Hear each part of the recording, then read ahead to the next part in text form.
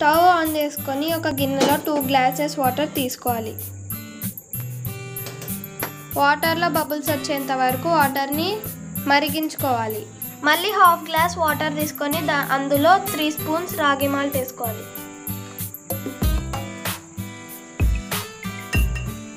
బాగా మిక్స్ చేసుకోవాలి. ఇలా బాగా మిక్స్ చేసుకోవాలి. మనం గిన్నెలో టూ గ్లాసెస్ వాటర్ తీసుకున్నాం కదా నేను ఆ టూ గ్లాసెస్ వాటర్కి three spoons ragi malt powder తీసుకున్నాను. ఇలా వాటర్ బాగా మరిగేటప్పుడు మనం మీడియం ఫ్లేమ్లో పెట్టుకోవాలి.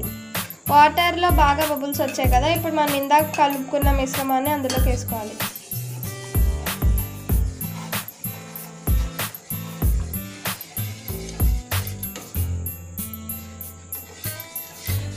ఇప్పుడు ఫుల్ ఫ్లేమ్లో ఉంచుకొని ఫైవ్ మినిట్స్ మరిగించుకుందాం. మనం కావాల్సినంత బెల్లం ఇందులోకి వేసుకోవాలి.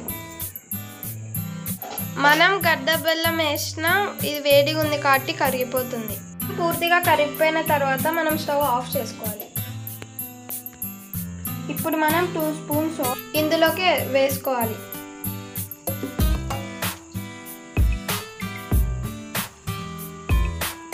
ఇది ఆప్షనల్ మార్ మాత్రమే మీకు నచ్చితే వేసుకోండి లేకపోతే వద్దు. ఓట్స్ వేసుకుంటే మాల్ట్ ఇంకా టేస్టీ ఉంటుంది.